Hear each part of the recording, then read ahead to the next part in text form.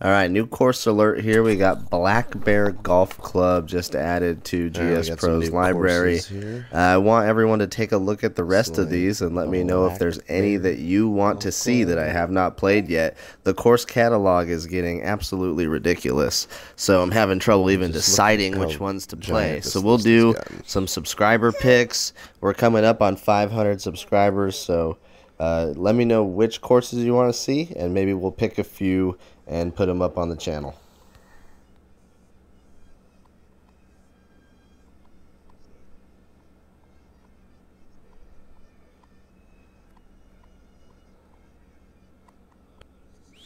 exit isn't it?